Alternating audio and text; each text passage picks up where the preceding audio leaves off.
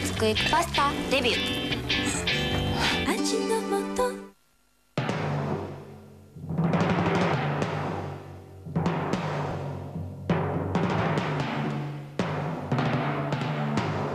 ケーブルつなげば直接プリント。カモンエブリデジ。カラリオエプソン。写真が1枚。めー写真が100枚。めカラーリオで写真をたくさんプリントしたら。カートリッジ。使い終わったカートリッジはお店の回収ポストまで。ご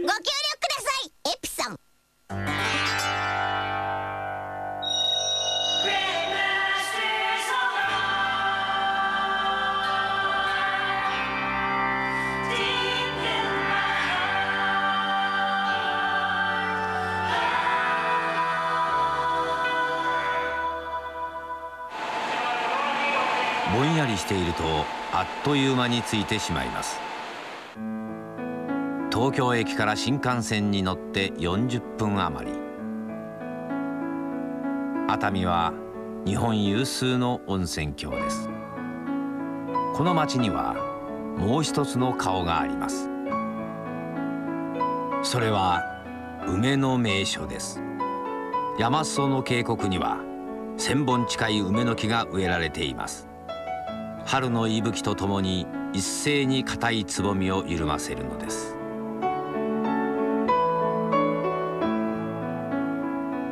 梅一輪一輪ほどの暖かさ。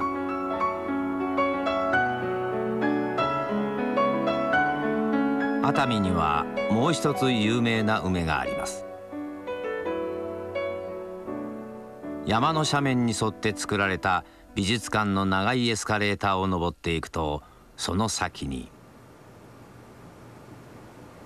残念ながらガラス越しの対面です。国宝だから仕方がないことなのでしょう。尾形光琳作「紅白梅図屏風」光琳の最高傑作と呼ばれる二曲一層の屏風です。この絵を描くために光琳の生涯はあったとさえ言う人もいます。右石に勾配左石に白梅。その2本の梅の木の間を黒々とした川が流れています。異様な存在感で見る者に迫ってくるのです。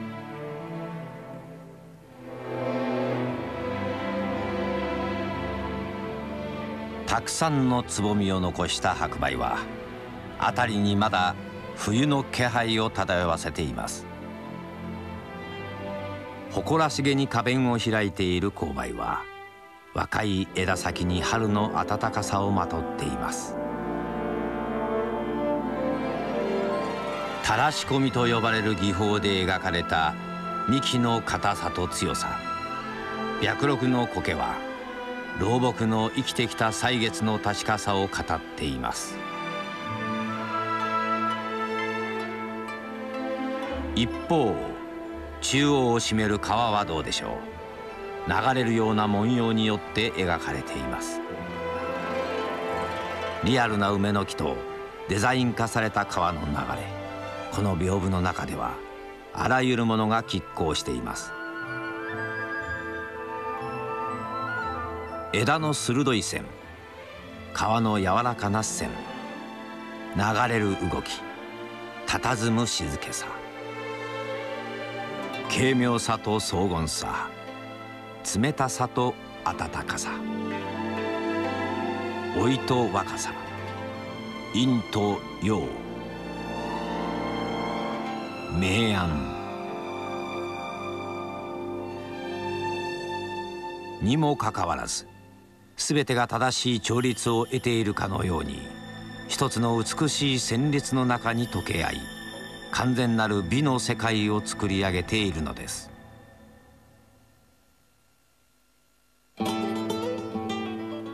ベルサイユ宮殿はヨーロッパの装飾美の殿堂です。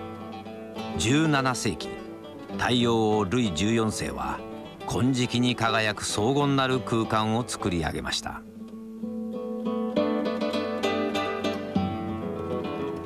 その頃日本は江戸時代。元禄文化が花開こうとしていました。ヨーロッパとは違い町人の間から起こった元禄文化は新しい芸術を生み出していきます。この時代に突出した芸術家の一人が尾形光琳でした。光琳は艶やかな花鳥風月を金色の世界の中で自由に遊ばせたのです。その作風は豪奢洗練。遮奪光琳は暮らしを彩る日用品にも惜しみない情熱を注ぎました。彼の残した衣装や文様すなわちデザインは日本人の美意識の中に今も確実に受け継がれているのです。例えば和菓子の世界に。京都は和菓子の都です。夜明けとともに職人たちは一日で最も忙しい時を迎えます。例えばこの店の奥で。和菓子とは不思議な食べ物です。一口の大きさの中にこれほど日本人の自然観と美意識が込められたものが他にないからです。その長い時の中で伝えられてきたのが光琳の作り上げた文様です。その花の形。波の形。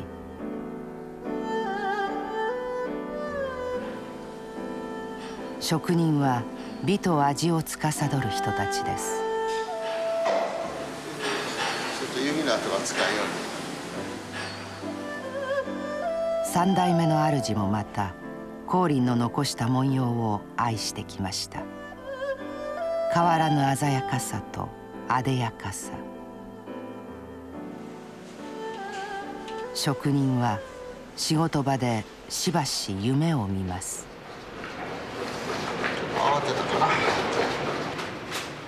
和菓子という歌方の喜びに光琳の色と形を映してみたいと例えばあの水の流れ。紅白梅図屏風は最晩年の作品です。荘厳と軽妙が渦巻くその文様は光琳が生涯をかけて作り上げた一つの形でした。この水の流れに光琳という天才の正体が隠されています。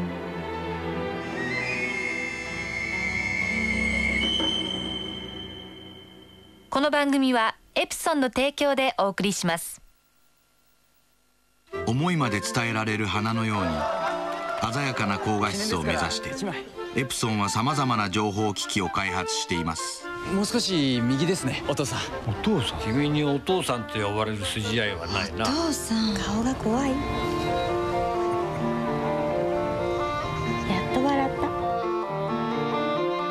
た。豊かな表現力でいろいろな思いまで咲かせたい。エプソンセンスエプソン京の町の北若狭へと向かう街道沿いに本阿弥光悦が開いた高ヶ峰という町があります。高ヶ峰はリンパ発祥の地と呼ばれてきました。本阿弥光悦。俵や宗達に端を発するリンパは絵画と工芸の垣根を取り払い江戸の初期に新しい装飾芸術を作り上げました。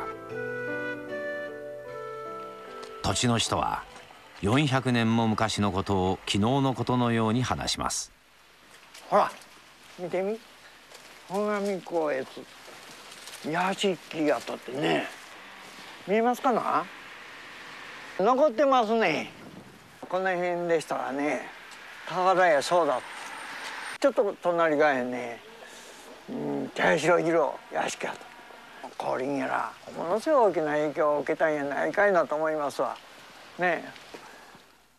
光悦宗達から遅れること80年。光琳は本阿弥家の向かいの仮金屋という呉服商に生まれています。彼の人生は家の没落から始まりました。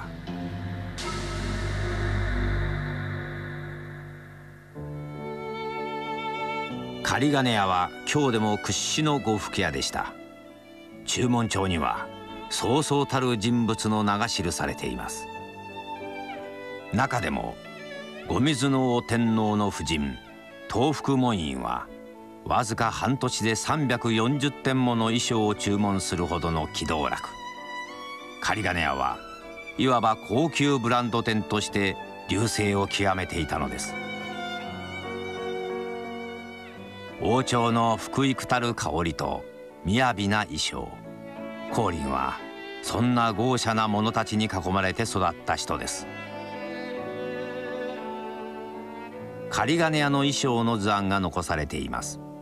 幼い光琳にとっては絵本のように親しいものだったのでしょう。都の人に愛されてきた花鳥風月の絵柄は後の作品に大きな影響を与えていくことになります。趣味人の父親からは能や書の手ほどきを受けたしなみとして狩野派の絵を学ぶ。彼は芸術家として最高の環境に育ったのです。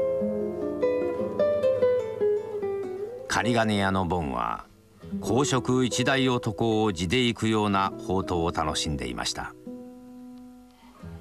しかし仮金屋はやがて没落の道をたどっていきます。特定の顧客を相手に商いをする時代が終わろうとしていたのです。30代の半ば光琳は自分で稼ぐという現実に直面します。彼を助けたのは幼い頃から培われた類いまれなる才能でした。すなわち美を表現すること。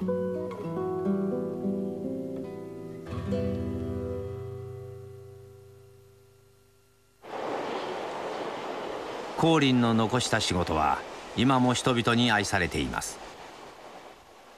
その一つがカルタです。これが光輪カルタの複製品でございます。一番の特徴は今の百人一首は取り札にはあの下の句と字だけが書いてございます。ところがこの光輪カルタには取り札にも全て歌の背景の絵が描かれております。光琳の描いた百人一首は通常のカルタより一回り大きく作られています。おそらく実用としてより鑑賞用としてめでるために作られたのでしょう。この歌にはどんな絵柄が楽しいだろうか。その一枚一枚に光琳の描く喜びが満ち溢れています。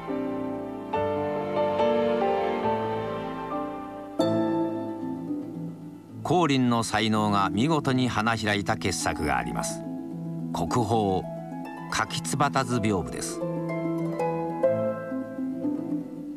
メタリックな金地に咲き誇る柿つばたの群生。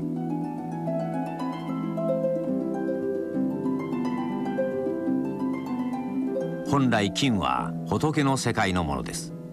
極楽浄土を表現する特別な色でした。しかし金色に慣れ親しんでいた光琳にとってはただ美しい背景に過ぎません。使われている絵の具はたった2色。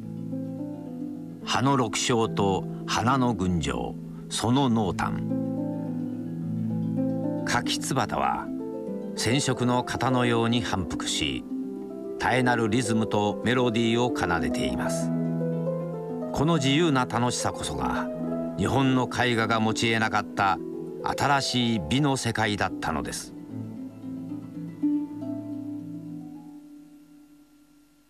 リズミカルに置くっていうのはなかなか難しいですね。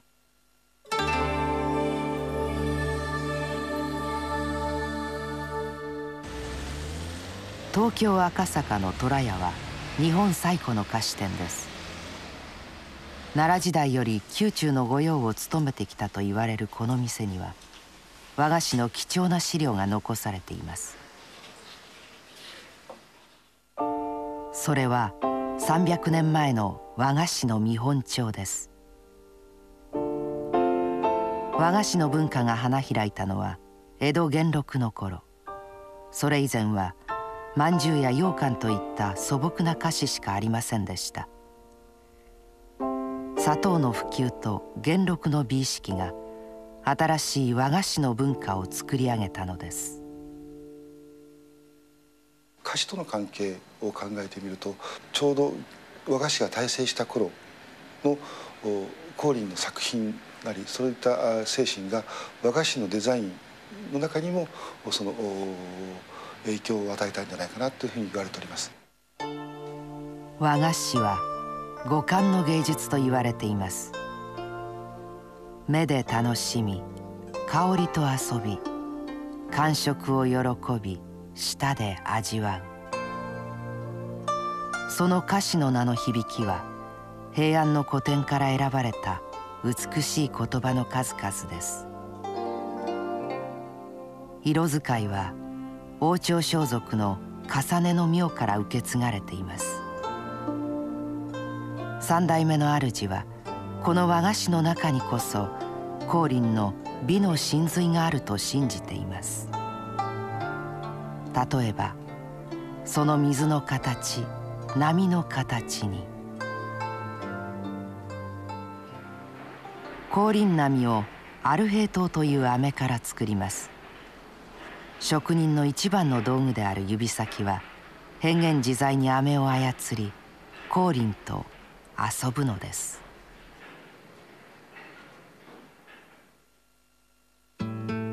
光琳は47歳の時に江戸に向かいました。京都での名声を生かし一旗あげようと考えたのかもしれません。そして江戸の大名のお抱え絵師として絵を描くことになったのです。しかし慣れぬ江戸の暮らしは辛いことばかり。それは彼の画風と無縁ではありませんでした。幕府の御用絵師加納探幽の描いた虎。勇猛なる虎は武家好みの画題です。ところが光琳が描くとどこかはんなりとしたユーモアが漂うのです。侍が喜ぶような虎を描くことができなかったのです。光琳は知り合いへの手紙の中でこうこぼしています。これほど長々と投留するとはいささか当惑しております。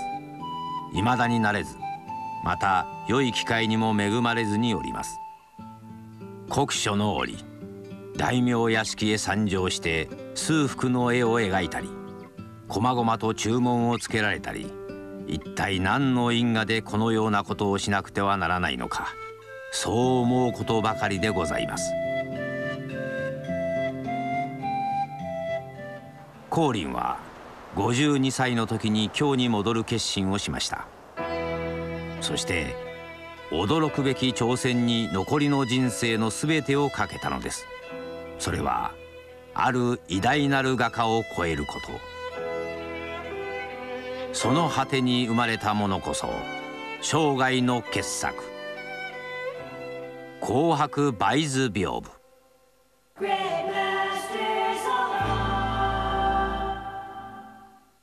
どうしました？どうもくっきりしなくって。本当だ。これは？紙です。普通紙です。これをこのカラリオに入れると。くっきり。何が言いたいの？普通紙くっきり。カラリあら僕までくっきり。オコピーも出た。エプソン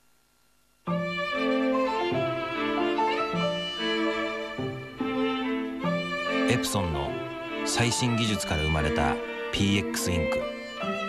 樹脂コーティングされた顔料インクだから普通紙でもにじまず細部までくっきりと高画質。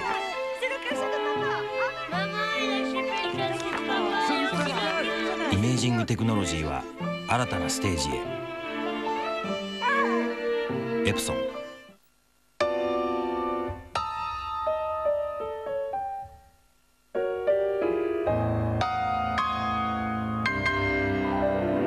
モリー挿すだけ直接プリント。カモンエブリデジカラリオエプソン。熱海の MOA 美術館には尾形光琳の晩年の屋敷が忠実に再現されています。江戸から京に戻った光琳は自ら図面を引いてこの家を新築したのです。新しい画質の中で作り上げたもの。恐るべき魔性の形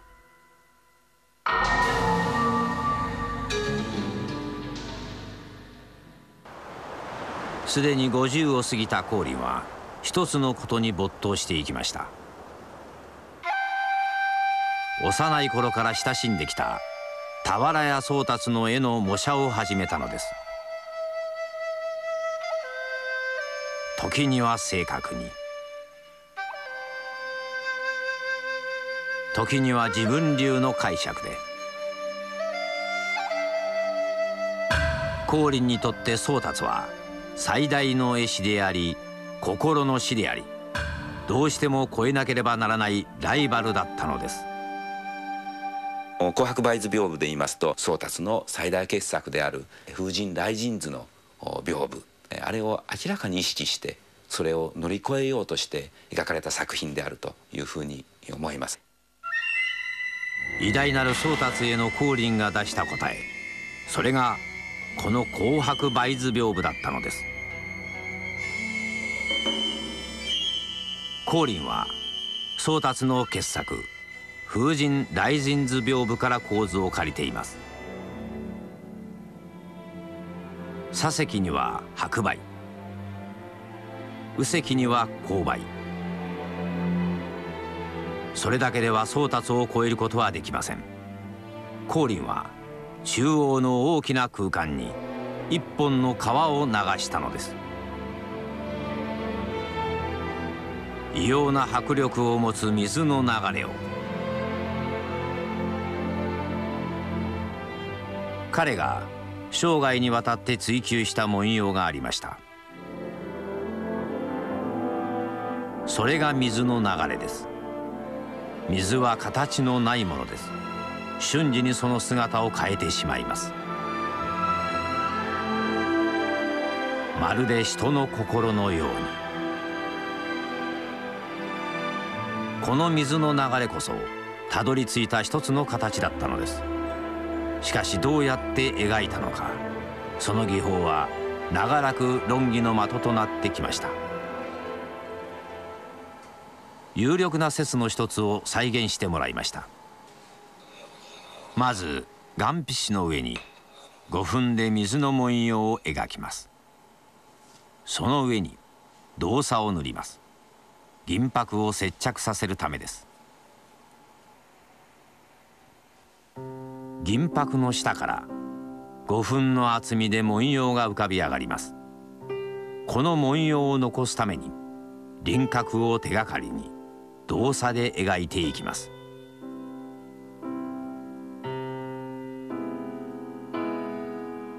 銀箔を酸化させるために硫黄の粉をまんべんなくまいていきます。2日ほど時間を置いて硫黄の粉を払います。銀が作り出す独特の表情。画面の上にどのぐらいの水分を乗せてそれをどう操っていくかっていうことがすごく問題で今はそういうような描き方はないので非常に技術的には難しい。よくデザイン的だって言われますけれども同じ模様の繰り返しではないわけですね。光琳が紅白梅図屏風を完成させたのは50代半ば過ぎのことだったといいます。その極限まで考え抜かれた構図と描写はいつの時代も見る者たちの想像を刺激してきました。老いとエロス。男と女。人生と時間。川の流れは人間の煩悩のようにもだえ苦しみ狂おしくのたうっています。光琳は水の流れに姿を借りて移ろう人の心の謎に一つの形を与えたのかもしれません。その魔性の流れが今も私たちの心を捉え続けて離さないのです。紅白梅図屏風の完成から数年後のことでした。今日の町が生んだ一人の天才は静かに散っていったのです。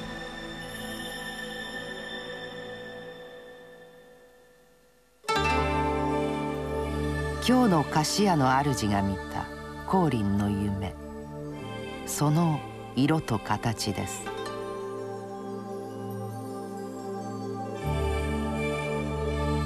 和菓子という歌方の喜び。消えていくところに味わいだけでないうまさが出てくるのと違いますかね。リンパの芸術団に花開いてですね食べていただけたら一番嬉しいのと違いますかね。春は命の目覚めの季節です。その日本の梅は麗しく咲いています。老いた白梅は若い勾配を求めているようです。精一杯枝を伸ばしてまるで天の川を挟んだ男と女のように。国宝紅白梅図屏。風尾形光琳。絢爛たる魔性の形。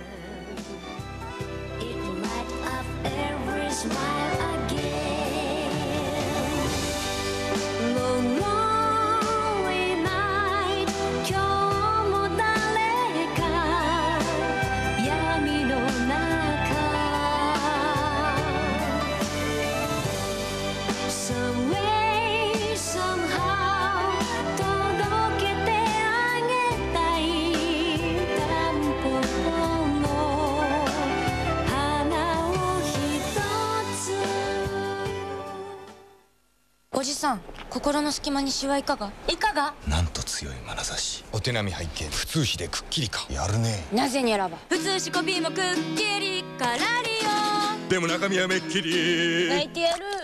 エプソン。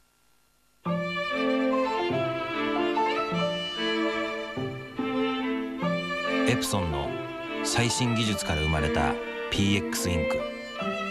樹脂コーティングされた顔料インクだから普通紙でもにじまず細部までくっきりと高画質。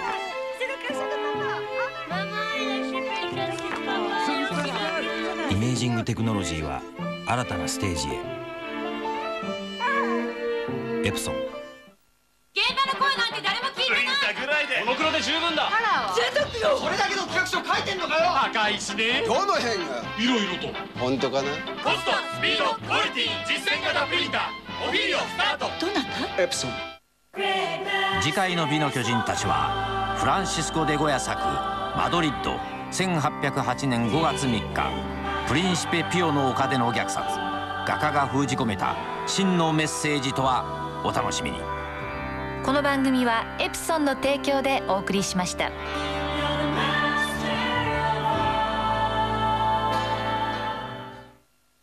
キッコーマン我が家の焼肉屋さん。ついに実現焼肉屋さんの味。そんなわけないじゃないあれ？あれ？あれ？あれやないがなタレやがな。焼肉屋さんの味をご家庭で。我が家は焼肉屋さん。キッコーマンから。でっかい温泉。素敵な眺め。ゆったりたっぷりのんびり。旅行けば楽しい。ホテル三日月。三つのホテルで健康づくり。なんかさほら気がつくと食べたくなって。大人になったらさ好きなものって変わるじゃんんないんだね。うまいんだよ。すぐ美味しい。すごく美味しい。マイチキンラーメン。チキダンもよろしく。桜井が高性能パソコンを発表。DVD も見れて音楽 CD も作れる。ADSL も思いのまま。スペック充実ですっきりしっかり。シャープ液晶モニター付き新宿パソコン。9万1800円安さ幕末桜屋玄関を3つ。君たちは私たちが言った通りやればいいんだ。あいつら何にも分かってあの二人ならきっといい家を設計してくれるよ。絶対最後までやってやる。疲れに情熱の赤グロンさん。ねえ父ちゃん僕人間の年齢に換算するといくつなの ?42 えおっさんやん。